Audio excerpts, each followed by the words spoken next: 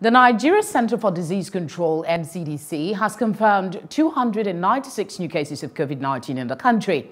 The NCDC made this known on Thursday while adding that only one death was recorded.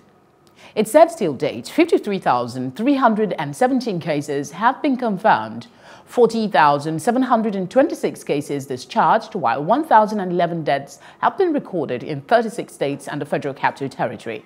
The health agency disclosed that the 296 new cases were reported from 17 states. It says that Plateau recorded 85 of the 296 cases, followed by Enugu with 46. Oyo with 31 and Lagos 21. Other states include Lagos with 20 cases, FCT 15, Kaduna 13, Bauchi 12.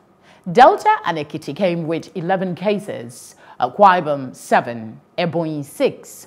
Kwara has 5 cases, Ogun 4, Osun 4, Gombe 3, and Niger 2. According to the agency, the country is currently in the community transmission phase that requires the collective effort of every Nigerian to win the fight against the virus.